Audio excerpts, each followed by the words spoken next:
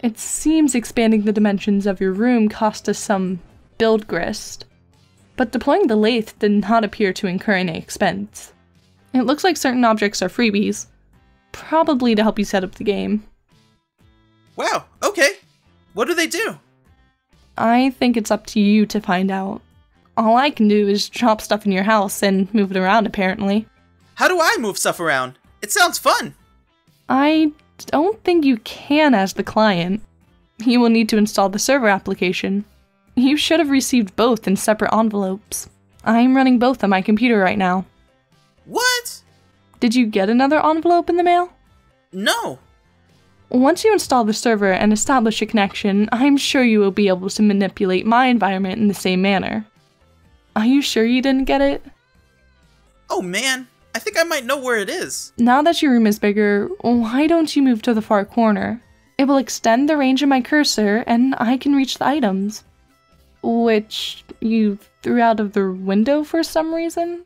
Good idea. What have you been doing in here all afternoon anyway? Ugh, I was fussing with my retarded Sylladex. But I think I have it under control now. What modus do you use? I like to use trees. Oh no, that sounds so awkward. It's not exceptionally practical, but I think they are elegant. John, stand in corner.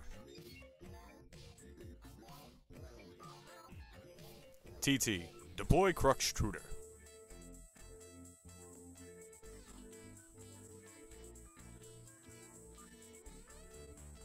TT, deploy Alchemiter.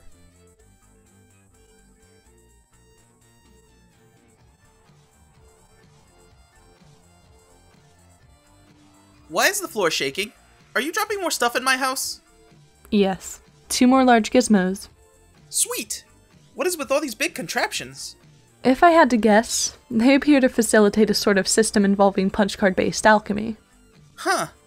To what end? I mean, what are we supposed to be doing in this game? That remains to be seen. Maybe you should go investigate? John, get PDA. You grab the PDA, switching back to stack modus so it's readily accessible. The interface is oddly sterile. No hilarious clown wallpapers or anything like that. Oops. You mean Harlequin wallpapers. The serious business application is open. It seems your dad uses it to keep tabs on various acquaintances. His fellow street performers, maybe? You guess the performing arts must be pretty serious business after all. Need counsel on removing coffee from necktie. Incident occurred 45 seconds ago. Beverage essences rapidly settling into fabric. Please elab on incident. Was posturing unevenly to reach for hat on wall hook. Tip of tie slipped in open mouth of pot. Duration of dunk approximately 3 seconds. Photographic documentation of incident? Use ballpoint pen to roll up tip of cloth. Extract pen. Press rolled cloth against ceramic surface, e.g. restroom sink. In future, consider repositioning hat hook and or coffee pot. Decided to return home for fresh tie. Soiled tie will be laundered immediately upon return. John, install Pesterchum. This should be useful. Now you can keep tabs on your chums while you wander around your house. John, go out to balcony. Hey, I'm out on the balcony now. I am messaging from my dad's PDA. The one you threw into the yard? No, I am telling you, it jumped out of my Sylladex like a frightened weasel. What were you doing with it in the first place? I am not sensing a lot of regard for the personal property of others. Is this how your pent up frustration with your father manifests itself? What? No. Those were all accidents. Please take your psychobabbery elsewhere, miss.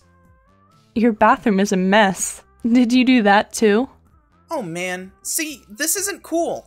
All this snooping nonsense. There's a cake in the toilet. Yes, there is.